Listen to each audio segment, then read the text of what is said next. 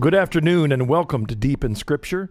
This is Marcus Grodi, your host for this program. I'm coming to you from the Coming Home Network International in Central Ohio, and we're coming to you over EWTN Radio, which we are very thankful to be a part of. This weekly program, in which we uh, invite a guest to join us to talk about a favorite verse, maybe a verse they never saw. In other words, we'll, we'll let you know what we mean by that in a moment, but a verse that awakened them to a deeper walk with Jesus Christ in His church, to the understanding of the fuller uh, depth of Catholic faith. That's what this program is all about. We have a website associated with the program, deepinscripture.com, where you can find out all kinds of great things about this program, all the archived shows, even some of the notes from our earlier programs. Before I even introduced our guest today, I want to remind you that we'd love to hear from you. If you'd like to give us a call with a question, our phone number is 800 664 5110. The regular Coming Home Network International phone number is 740 450 1175. Or you can write me an email at Marcus, M A R C U S, at deepinscripture.com. If we get either a phone call or an email during the show, we'll try and, and fit it in. Otherwise, we'll, we'll answer it off offline. We we want to hear from you because I want to know whether these broadcasts are an encouragement to your faith. Our guest today is Dr. Paul Thigpen. He's a great friend. He's been on the program before. The reason Paul is joining us today is because the scheduled guest, Dr. Rice, uh, called in sick this morning, and we'll schedule him another time. And Paul happened to be here at the offices, so it was of the Lord. And so it's great to have him join us on the show. The reason that Dr. Thigpen was here at the Coming Home Network is that Dr. Paul Thigpen is now the senior editor, the director of CH Resources for the Coming Home Network. Uh, if you go to the website, you'll see the books that we publish, a variety of resources, and Paul has come on the staff to focus on all of our publications to make sure they're in line with the church and that they're always an encouragement to your faith. Dr. Thigpen is a former evangelical pastor, best-selling author, award-winning journalist, and popular Catholic apologist who has published 37 books. You know, Paul, when do you find the time?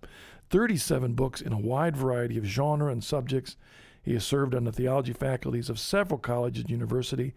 He's the past editor of the Catholic Answer, nationally bi-monthly, national bi-monthly magazine that answers questions about the Catholic faith. Dr. Thigpen graduated from Yale University in 1977, summa cum laude, and with a Robert W. Woodruff Fellowship at Emory University in Atlanta, where he earned an MA and a PhD in historical theology. Presently serves on the National Advisory Council of the United States Conference of Catholic Bishops and is the director of CH Resources for the Coming Home Network International. And, and uh, we'll have Paul join us in just a moment. Paul was, uh, uh, you know, under the gun to come up with a verse for today because he hadn't expected to join us on the radio, but he he picked one out because a particular verse, a section of verses that are, are very key to his own journey of faith, and I think they're important even today in this world of moral confusion. Not just amongst non Christian versus Christian, but amongst Christians. Moral confusion.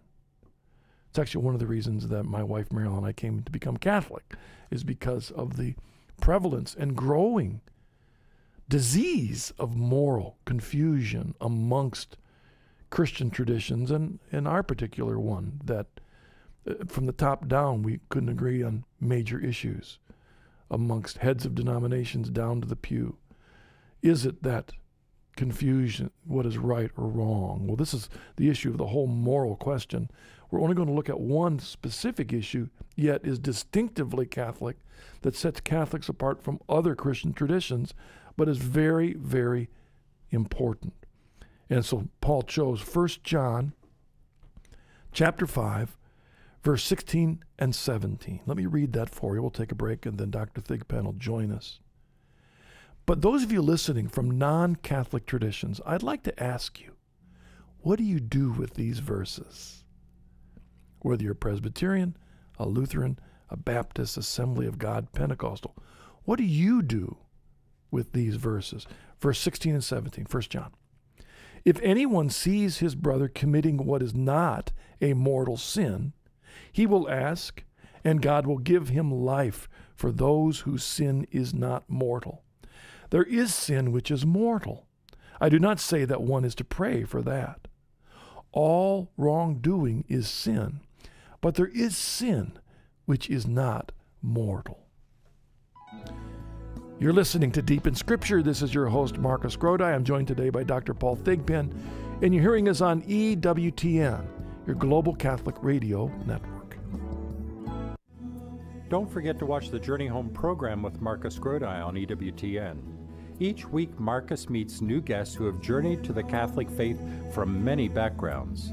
Be challenged and encouraged as they witness to how their love for the truth of Jesus Christ has brought them into full communion with the Catholic Church. That's the Journey Home program on EWTN, live on Monday evenings at 8 p.m. Eastern Time. If you enjoy the Journey Home television program on EWTN, you'll want to purchase a copy of Marcus Grodi's book, Journeys Home. Journeys Home contains the conversion stories of men and women who, as a result of their surrender to Jesus Christ, heard a call to follow him more completely in the Catholic Church. Many of them were Protestant pastors or missionaries. Others were laymen who, though working in secular jobs, took their calling to serve Christ in the world very seriously. To order your copy of Marcus Grodi's book, Journeys Home, simply visit our website at www.chresources.com or call us toll free at 1 800 664 5110.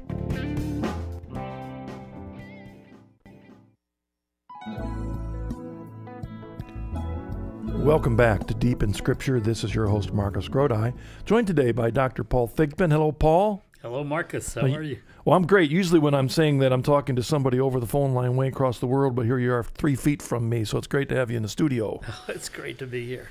Let me take the time also publicly to thank you for joining us as the uh, senior editor director of CH Resources. Uh, but, you know, take a moment, if you would, as our new editor, to talk to the folk about CH Resources, if you would. What's the significance of, of our publishing house, and why does the Coming Home Network even have one? Well, you know, our mission is is focused as, as a ministry altogether, as an apostolate, to help folks from outside the Catholic Church or clergy to come home to the Catholic Church. And there are other things that kind of come out of that, but that's that's our focus. And so our resources are to help those people and to help those who know those people or those people who could be in that position to come on home. And so that's that's really is what that's what sets apart CH Resources from from many other publishing concerns that may be broader or have a different niche. Our niche is to to be a resource to people who need to come home, clergy who need to come home, either by purchasing our, our materials or by other folks getting what we have and giving it to them. Yeah, that uh, it, it, I would say one of the uniquenesses of the of CH Resources is that most of those who write the books as well as edit the books are converts to the Catholic faith. We've been outside the church, and we know that certain things that have a Catholic slant sound differently to those outside the church. And so our focused audience are those outside the church, helping them understand Catholic the fullness of Catholic doctrine. Yes, and you might say we're bilingual in a yeah. way.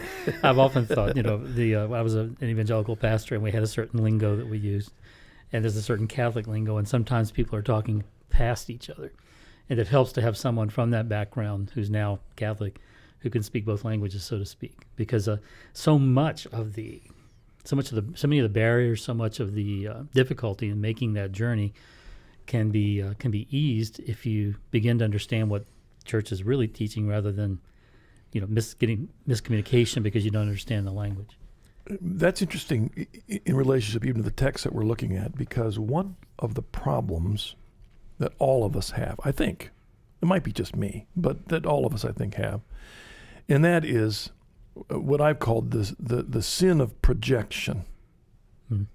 which is that we we really don't know how other people think. We, we think we do, right? We think we do, but we really don't. And what we often do, we'll read into other people's mm-hmm. actions what we might be thinking if we were doing what they're doing. Yes. We see somebody doing something, or we see somebody else saying that something is right or wrong, and we don't know what's in their head, so we read into them the understanding that we have. And the reason that I think that connects to this passage we're looking at is when we try and understand, for example, if we're not a Catholic and we're trying to understand what Catholics understand as sin, what Catholic teachers understand as sin, and when you're coming at it and looking at it from a Pentecostal, as you were, or as I was a Presbyterian, Lutheran, trying to see that, we may not understand what Catholics understand by mm. mortal, venial sin, because we don't have a mental file folder where to put that. Mm-hmm. Mm-hmm. You chose this passage, Paul. Talk about it in general before we dig in. But why did this passage connect with your background? Well, Marcus, I came from a tradition that either said explicitly or trusted implicitly that all sin is basically the same in God's eyes. That, and in its effects, even eventually, that ultimately that it's it's just all sin, and therefore we shouldn't try to rank sins or try to even distinguish so much between sins. And uh, when I first read this passage seriously, carefully, I thought this the Bible is making a very clear and serious distinction between sin that leads to death or mortal sin and sin that does not and in its in its consequences. And once that hit me that that is a biblical notion that that's from that's the Lord speaking, I have to understand that. The wider implication was, and that also means then, if I understand this right, that that salvation isn't just a matter of faith.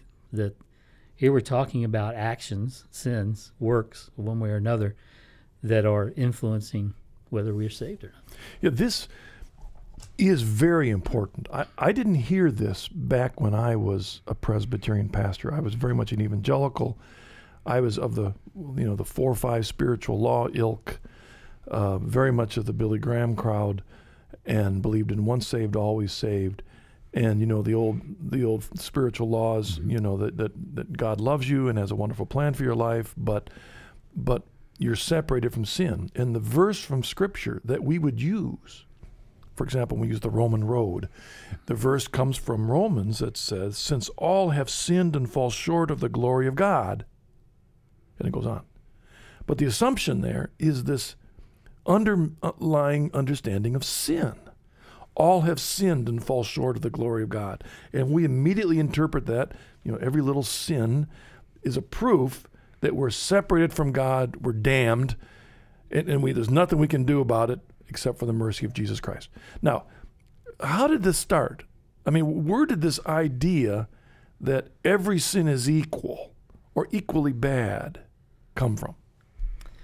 I think you have to find roots in Luther for sure, in Martin Luther. His uh, his approach to sin. He was he, he talked about how even the best of our works are sinful in God's sight. They're they're they're of no use at all coming to God, and that, uh, and I think that that attitude that he had, that he just kind of take everything that's wrong, lump it all together, and and push it to the extreme. It is it's dirty rags in God's sight. It's your best works are horribly sinful to Him. Even the best thing you do, that we couldn't really do anything good that didn't have this mixture of horrible sin in it. And he, you know, he was given to hyperbole in speaking. He would often exaggerate, but he said he would say it and he would write it. And I think uh, eventually that had to have some impression on the way the Protestant tradition began to look at sin. Because hmm. I'm trying to look back in my own pastorate to try and remember. It's been years now. Was there any sense in which I saw any level of sin? I mean, there was a white lie, you know, uh, that we might say, and maybe it's as a dad, you know, my son is, you know, I'm, I'm, planning a birthday party, let's say, for him. And my son looks me very straight in the eye and says, Dad, are you planning a birthday party for me? And I'm thinking, wait, it's a surprise party. Do I tell him or do I lie? Yeah, I might white lie. Oh, no, I'm not planning a party for it because I'm going to surprise him. Okay, it's a white lie. All right, is that good or bad? The level of badness of that. And then you go, you start from there. I'm talking about the lowest level you could imagine. I'm, I'm just being a loving dad or whatever, all the way up to abortion murder, uh, adultery, all of these kinds of issues. There's a, I'm trying to remember if as a pastor I saw, at least in my mind, that some of these were more heinous than others. Do you remember looking back? Did you have any gradation in your mind on sinfulness when you were serving as a pastor, Paul?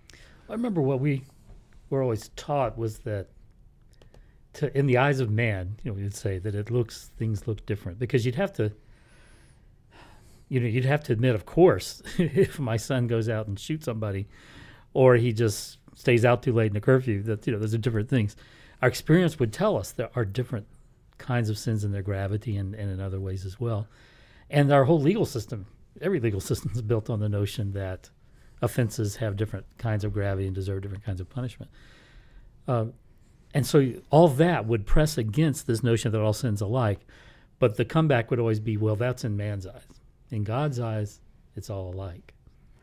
And I think the consequence of that was you went one of two ways. The overly scrupulous would do kind of what Luther started out with because he was just wrestling with this Yeah. terrible sense of shame and guilt. And that's why he came up with the notion he did that uh, that is all horrible and then I'm, I'm damned or I'm lost or or else just I can't do anything and and so I have to just totally give up and not even work it, try to do good things.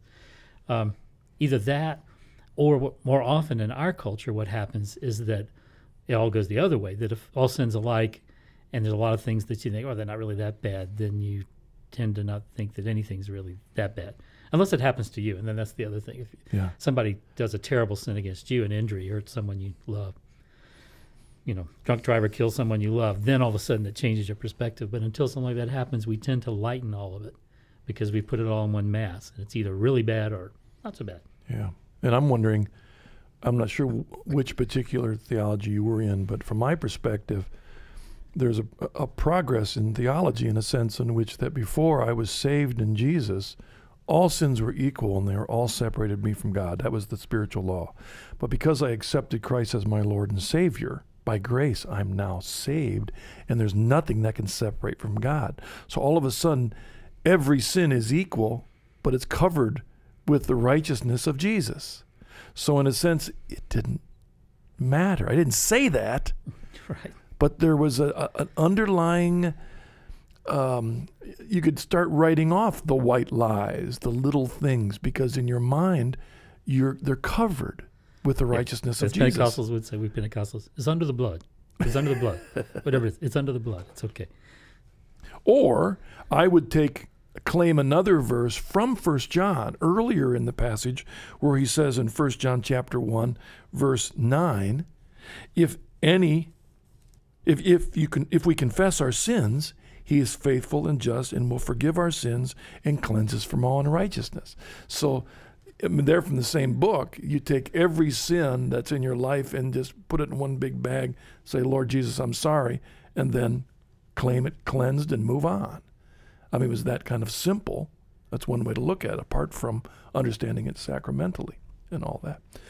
Do you remember, though, what you did specifically with this passage back then?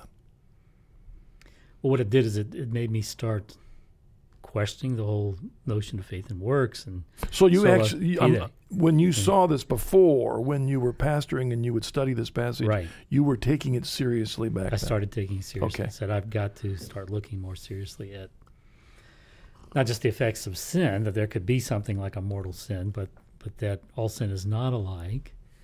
And that if there is a sin that leads to death, sure seems to be eternal death, and that, you know, that it, our works do have something to do with our salvation. It's not just some, certainly not just some intellectual assent or even just some expression of confidence in God. And this was during while I was in grad school in historical theology, so it, it pressed me to start looking more at the Catholic moral tradition Hmm. with all of its categories and uh, distinctions and nuances, which can get very complicated. But if you approach it well, it becomes very helpful when you start making understanding things like the role of intention and the object of the sin and the culpability and that whole issue. It's uh, you begin to have a much more realistic, I would say, and nuanced understanding of what sin is, of the fact that it has consequences. You know, that that's another thing. The tradition I came from, it's all forgiven. And then, okay, so the guilt's gone, but it wasn't until I started reading Catholic moral theology that I realized sin has not, has more consequences than just guilt. and those other consequences need to be fixed. And that's what the whole notion of purgation, eventually purgatory, but even in this life, it just turned upside down my whole notion of of sin, of vice, of virtue, all those things. Uh, what I'd like us to do, Paul, is to kind of analyze this passage first before we start talking about what the church teaches about mortal and venial sin. All right, just to make sure that we're not just reading back into it, but let's look at it, what it says there. And um, before we take a break, I'd like one thing I'd like to look at before we go to the break is in that very first passage. If anyone sees his brother committing what is not a mortal sin, what I find interesting about that passage, Paul, a couple things, is, and talk about this if you would. Number one, John is not addressing this at the person that's doing the sin.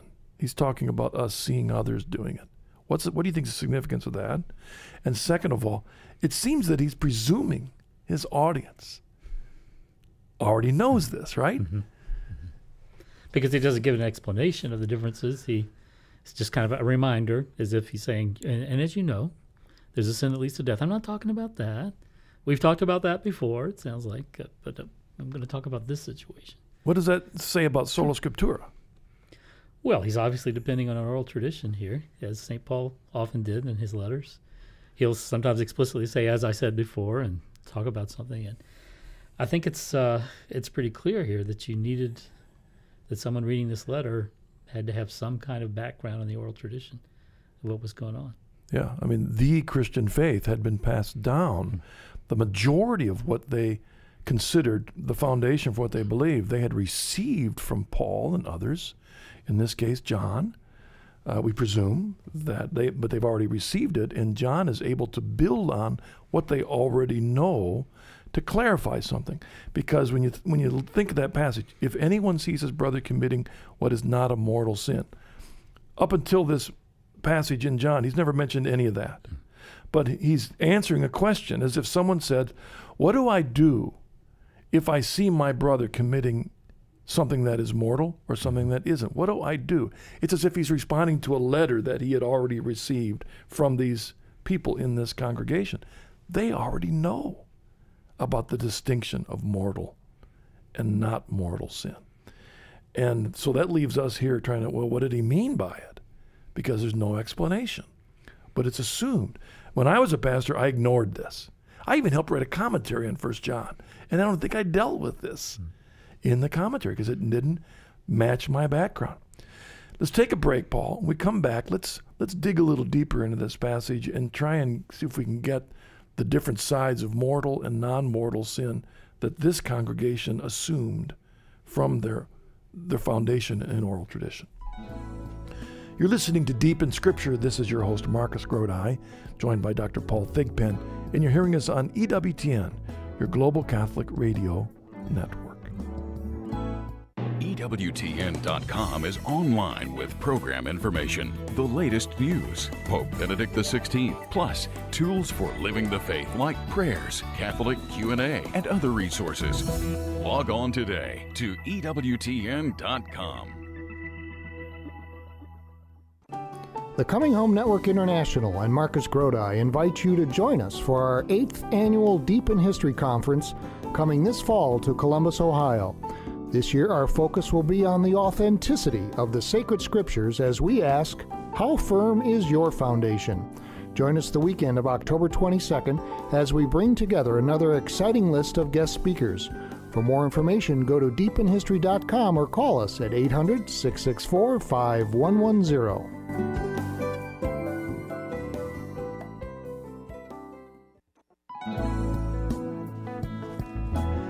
Welcome back to Deep in Scripture. This is your host, Marcus Grodi, joined today by Dr. Paul Thigpen. I want to re- remind you that next time on the journey home, our guest will be Father Christopher Phillips. He's returning. It'll be an open line program that this coming Monday night on EWTN television, Monday night at 8 o'clock Eastern Standard Time. Our guest, Father Christopher Phillips.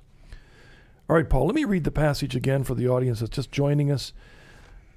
1 John chapter 5, 16 through 17. If anyone sees his brother committing what is not a mortal sin, he will ask, and God will give him life for those whose sin is not mortal.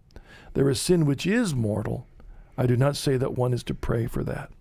So the point is, we just made it that it seems that that John, the Apostle John, is speaking to this congregation about something which they already seem to know that there is a distinction in sins, some which is mortal and some which isn't. And it's as if he's answering a question about what they're to do when they see one of their brothers. Now, before going farther, this, the, the fact that he says brother is significant. Mm-hmm. Right? I mean, what is the significance about the use of the word brother in this context? Well, he's correcting another Christian, not not a pagan who's not going to share his understanding of sin and its consequences or of, of the means of grace. I mean, that's the problem.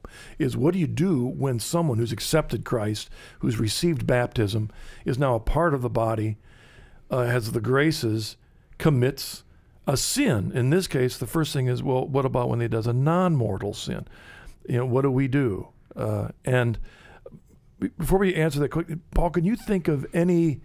We don't have all the oral tradition that he presumed in this. We don't know exactly what they received, but was was there any indication of the teachings of Jesus to this level of sins, mortal versus non-mortal sin?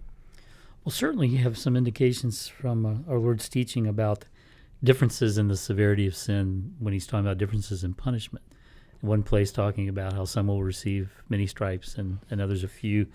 Uh, Luke 12 in particular, Luke 12, 47 through 48. Um, one of the things that the church eventually developed in its understanding of mortal sin was that one of the conditions has to be, for it to be mortal, is that you have to have full knowledge of what you're doing. And there, the Lord talks about a servant who knew his master's will but didn't make ready, and then one who did not know and that the punishment would be more severe for the one who knew his master's will and didn't do it. And that's you know that that points to that notion that knowledge is an important part of um, how grave the sin about and how the consequences of the sin are and, and, the punishment it receives. So you've got you know those kinds of indicators that um, that Jesus did not consider the consequences of all sins to be the same, the gravity to be different. Well, one thing I, I came to appreciate in my own journey to the Catholic faith, which I didn't appreciate as a non-Catholic when I was a pastor, but really the the foundation for this understanding comes from the Old Testament. Because in the Levitical laws, all through, there are certain sins that require a different punishment than others. Some require the sacrifice of a dove, you know, some mm-hmm. require the sacrifice of an ox, some require stoning, some require getting thrown out of the community, some are you're out of the community for months until you can come back in. And so this idea of some sins are worse than others was a part of the air they breathed. Surely. And and I often think, Paul, did you find this you know journey that when I was a Protestant, if the if the New Testament didn't directly talk about liturgy, for example, I assumed well they must not have liturgy. And then I came to realize no, maybe the problem was they didn't have a problem with liturgy they didn't have to write about it in the letters, and so they didn't talk about it. It was there. And one and I'm wondering if, for example, in the structure of the church, it parallels the Old Testament structure, because that was the air they breathed. That's what they accepted. Do they get this same concept of sin in the same way? I think so, and I think uh, you look at the words of Jesus about someone in the church who's sitting within the church, and the, you go to him, and then if he that doesn't work, you, you go to the elders, and, and, and it's very clear then at the end he's, he's got to be like a Gentile to you. He's, he's cast yeah. out. That certainly is showing kind of different levels of culpability and severity of the sin with its consequences, and and having him outside the church, it's like you know excommunication. That's kind of a recognition of you're being cut off from something here. That all that would have to be in the background, I would think as well. In this passage, then, John gives an interesting answer. Uh, talk about this with our audience. You know, he says, if anyone sees his brother committing what is not a mortal sin. Now, word venial come from? It means lesser. It's, it's lesser. So a lesser sin. Okay. So a lesser sin, which would kind of be here, but we're not going to read the word in, but that's kind of what we're talking about. Less than mortal. All right. Not a mortal sin. He will ask, and God will give him life for those whose sin is not mortal. There is sin which is mortal. And I do not say that one is to pray for that. Talk about that answer. Well, you know, I think we have to look at it, I think, in the context of the few verses before it. Uh, and this is the confidence we have. Is that verse 14? Which we have in him, that if we ask anything according to his will, he hears us. And if we know that he hears us in whatever we ask, we know that we have obtained the request made of him. So that's the context. He's talking about asking, you know, intercession and petition, and having a confidence in what that we're gonna God's gonna answer our prayer. But then it's as if he's he's noting an exception, and again we're talking about it. He seems to be replying to perhaps a, a request for clarification. If anyone sees his brother committing what's not a mortal sin, then he'll ask, and God will give him life. So this is this goes along with the general category that your prayers are going to have an effect for that person for his venial sin. He, the venial sin is not going to keep him from receiving the life that you're praying for. But if it's mortal, if it's mortal, your prayers are not going to be able to change that condition. And the implication there for me is because he's going to have to repent of that. And of course, eventually it's clear in the church he's going to have to repent of it sacramentally. Hmm. And that's part of what I'm seeing here that he's just telling people, okay, ask and have confidence you'll have it. But if someone's someone's committed that kind of serious sin and you're asking for the graces to flow or whatever you're asking, keep in mind you may not see an answer to that because something's got to happen in him. It's that serious a sin that the the life, the grace, a life of grace in his soul is going to have to be restored before you can see those kinds of consequences. That's how I see it anyway. And, and I'm wondering if it connects with an earlier passage then, because um, all through First John, he's talking about authentic love, right? Mm-hmm. And he'll say that if you say you love God but hate your brother, you're a liar. And so it's talking about our need to love one another and to go out. He who says he abides in him ought to walk in the same way in which he walked. So part of it involves authentic love for our brother. So in, in the context of this, if you see a brother that is he's doing a lesser sin, you should pray for him. You should. And if you pray, God will hear and he'll heal. If he's doing something worse, maybe there's something a little more you ought to do besides just praying for him. yeah, that. Is that kind of what maybe he's saying here? I think it could be. And I, uh, but again, I think he's also saying that don't expect that your prayer is going to kind of override something that a ser- serious mortal sin means he has got to have a kind of repentance and grace come the life of grace being restored in his soul and you can kind of pray that that'll happen but that's it's not going to release your prayer's not going to release the graces to him that it would if this if the sin were that serious. That it's it's talking about how serious mortal sin yeah. is. That it really blocks all kinds of great access to grace. Yeah, you mentioned that earlier passage from Jesus, which basically outlines what they would have assumed at this time is what you do in the church when you see a brother that's mm-hmm. sinning, whether it's against you or not, is that you are to go to him and talk to him. And if he won't listen to you, then you bring somebody else with you. And if he won't listen to you, you the whole church needs to know now, let me ask you this. That's an embarrassing thing to bring the whole church in if somebody's cl- committing a mortal sin. Is that an unloving thing for the church to do? Well, Jesus wouldn't tell us to do something that's not loving. We, uh, when, it's, when it's tell it to the church, that doesn't necessarily mean stand up in mass and tell, tell the whole congregation, the, the representatives of the church. But the point is, he's, he's underlying how bad mortal sin is. Oh, yes because in the end, if he doesn't fall, if he doesn't uh, change in the light of the church, he's he's saying treat him as a pagan. So really, you can't. The whole church is going to know. Oh yeah. So the point is that a venial sin is treated one way, a mortal sin.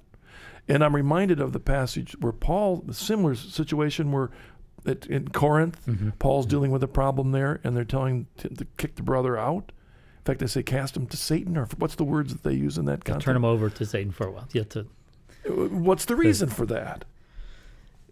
For this, it's it's for this reason that it's such a serious thing. It's obviously the consequences it's had in his soul are such that it needs some kind of serious dealing. He needs to be confronted with with the horror that is mortal sin, and that's his best chance for repentance. The, the reason I'm adding that to this is because, uh, uh, and maybe I'm you. You correct me, Paul. You can reach across and slap me if I, if I'm not teaching this correctly. But it would seem to me that what he's saying here also is that if you see a brother committing a mortal sin, it's our responsibility one to another to reach out to him so that he changes. In other words, it's not merely just saying, "Well, I'm going to pray for you." prayer for venial sin we should be mm-hmm. because he's not. I don't think it, it, almost sounds like if someone's doing a mortal sin, you don't need to pray for him. Yeah, right. and that's obviously not the yeah, not the intent. Yeah, the, the, intent is, of course, pray for him. But in this case, you if you really love your brother based on 1 John 1, 2, 3, and 4, then you've got to do something. But your prayer is not going to be sufficient to take away that penalty for living a life apart from, from Christ. At the time that, I'm trying to think, at the time that this would have been written, Paul, could we have enumerated what they would have considered mortal sin? Oh, from the tradition, I think you would say, uh,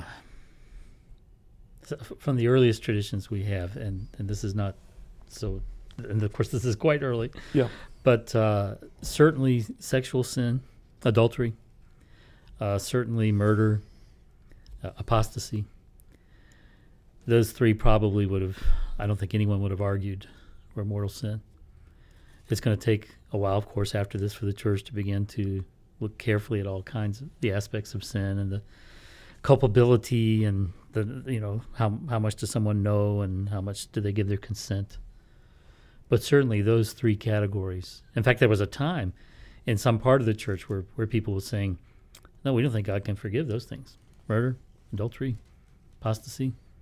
We don't think God can forgive that. That's one reason why eventually in the Apostles' Creed you have I believe in the forgiveness of sins. Yep. Because there's some folks who lacked confidence that God could forgive those things. Yeah, the the, the sin of uh, against the Holy Spirit was one that. What does that mean? You know, and, and have I committed that? Does that person commit that? Um, can they be forgiven of the sin against the Holy Spirit? I mean, that's a verse that uh, even to this day there are different opinions mm-hmm. on, on what that means. In a sense, you know, we understand that that verse to mean that if you choose to turn your back on God, if you choose that, to say, I don't believe in God, uh, I don't need God, um, then you are choosing the wrong place. It isn't God condemning you to a different place. God doesn't condemn anyone to hell. He gives people what they've chosen. And to, the unforgivable sin is this is the sin of the sinner who refuses to be forgiven. I mean, that's really at the heart mm-hmm. of it. Mm-hmm. Who says to God, I, either I don't believe in you, so I don't have your forgiveness, or yeah, I believe you, but I don't want your forgiveness or need it. Anyone can be forgiven who wants, who asks, to seeks the forgiveness, but there are those who, in the end, refuse the forgiveness, and forgiveness doesn't work unless it's accepted. It's got to be because it's the restoration of a relationship, and that's what forgiveness is about. It's it's the restoration of the relationship with God. So if you've got the person on the other side, God says, "I'll receive you back. I will you know, I've, I've paid the price for your guilt. And the other person says, I don't want the relationship. I don't want to be forgiven. Then, of course, there is no forgiveness. The, the relationship is not restored. I find it interesting. I, I have in front of me the the Protestant Study Bible that I always used. I still use it because uh, in the notes and on the side, it, it, helps remind me of how I understood some of these passages as a, a Protestant, which always, even as I look back, kind of strike me funny that if I really believed in sola scriptura and that the Bible was clear, then why are there necessary explanatory notes in my Bible to make sure I understood it from a Protestant perspective? But I did find it interesting that this particular passage, 1 John 5 16, has no note by it. So, it, in other words, we didn't deal with it in a footnote, but it did have a, a you know, a, a connecting verse, which mm-hmm. it often mm-hmm. does, to another passage in Scripture, which I avoided like the plague from my Protestant Calvinist perspective.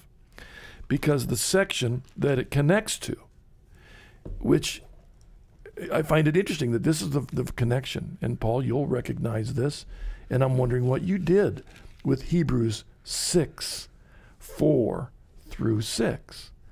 Because the writer of Hebrews says, For it is impossible to restore again to repentance those who have once been enlightened, who have tasted the heavenly gift, and have been partakers of the Holy Spirit, and have tasted the goodness of the Word of God and the powers of the age to come, if they then commit apostasy, since they crucify the Son of God on their own account and hold him up to contempt.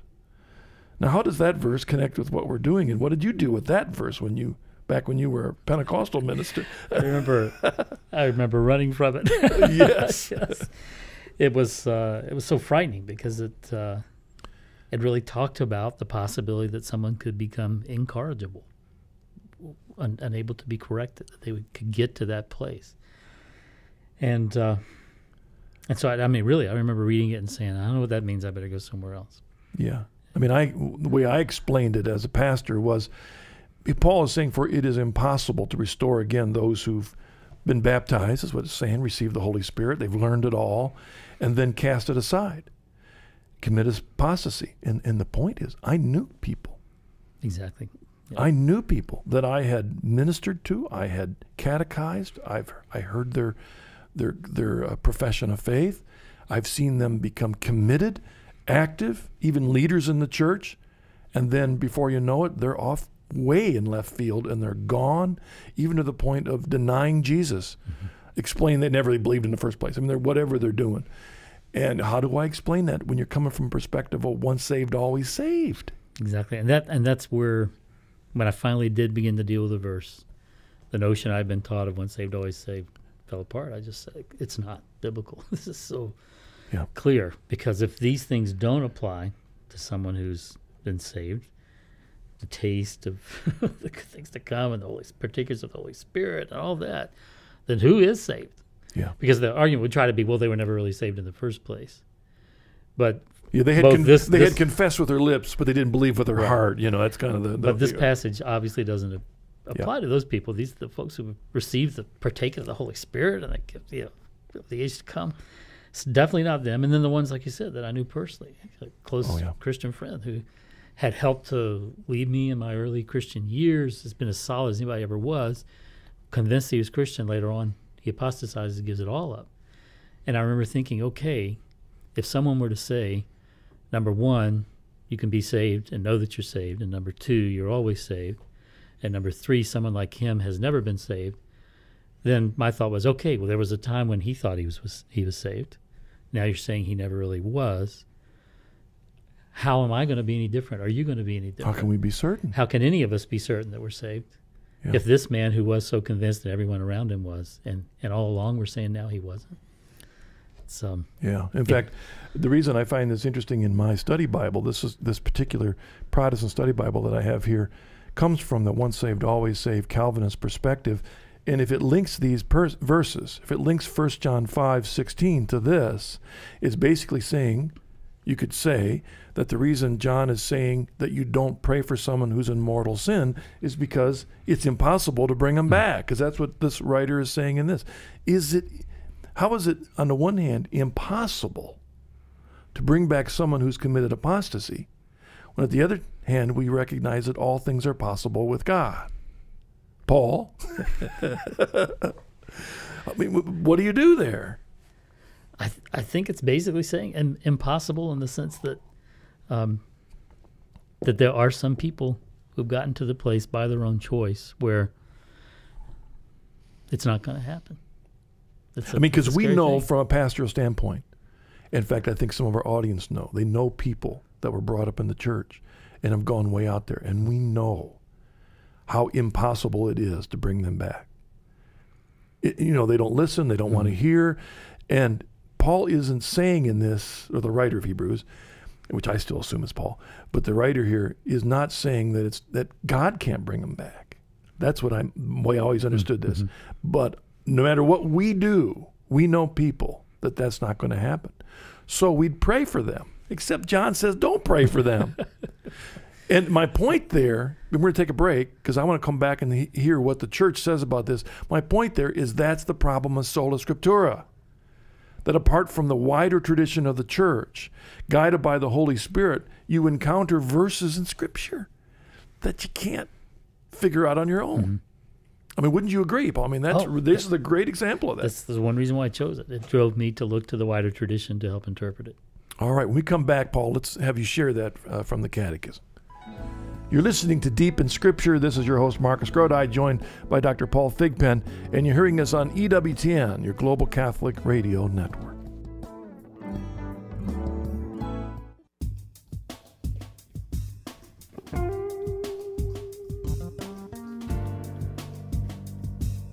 The Coming Home Network International is a non-profit Catholic lay apostolate dedicated to helping Protestant clergy and laity come home to the Catholic Church. It was founded by Marcus Grodi, the host of this program, as well as the Journey Home television program on EWTN.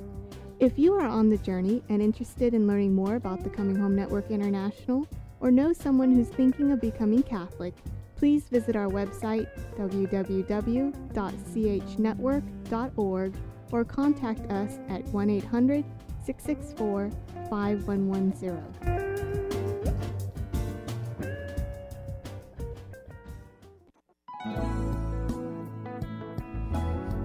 Welcome back to Deep in Scripture. This is your host, Marcus Grodi. I'm joined today by Dr. Paul Thigpen. I, I just want to remind a couple of you out there, I've, I've got a, a, a, a message from Carl in California and Chris from San Antonio. We might be able to get to your questions beforehand. They don't really exactly fit with the topic we're looking at. We'll make sure and respond to you by email otherwise, but uh, we'll see in a moment. Maybe we can get those for you in the program. Paul, okay, from a Catholic perspective, looking at the big tradition, how do we understand pretty much what, what, what John is saying in this passage? Well, I turn to the, the Catechism of the Catholic Church, a very reliable uh, place to look. And in, uh, in section 1849, let me just uh, take the definition of sin first there. It says, Sin is an offense against reason, truth, and right conscience. It is failure in genuine love for God and neighbor, caused by a perverse attachment to certain goods. It, it wounds the nature of man and injures human solidarity. It has been defined as an utterance, a deed, or a desire contrary to the eternal law. So, with that notion of sin in mind, then a, another section then goes on to distinguish between mortal and venial. In 1854, it says sins are rightly evaluated according to their gravity, their seriousness, their weight. Those are my comments. The distinction between mortal and venial sin, already evident in Scripture, the passage we referred to in 1 John, became part of the tradition of the church. It is corroborated by human experience.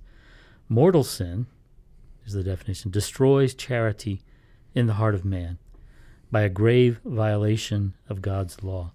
It turns man away from God, who is his ultimate end and his beatitude, by preferring an inferior God, good to him.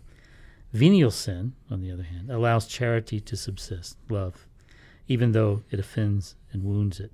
So, mortal sin, it goes on to say, attacks the vital principle within us with charity and necessitates then a new initiative of God's mercy and a conversion of heart, normally accomplished within the setting of sacrament of reconciliation. So, mortal sin is, is so grave that it actually is a turning away from God, not just a kind of an offense against God or a wounding of our love for God and others, but serious enough that it's turning us away from Him. And it leads to what you might call the, the death of the life of grace in our soul. Hmm. And that it needs to be restored then by an initiative of God Himself, which He's willing to do, but we have to respond in certain ways. And normally, for the Catholic, it means sacramental reconciliation, going to the sacrament of, of penance and confessing that to God.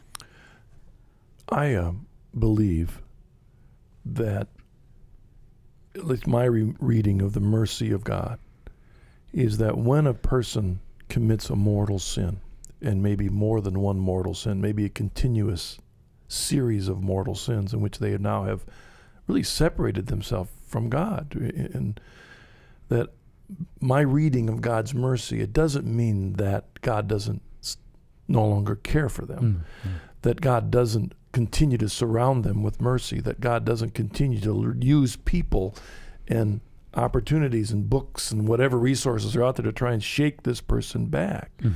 The bottom line is it rests on our will, doesn't it? It rests on our individual choice to turn.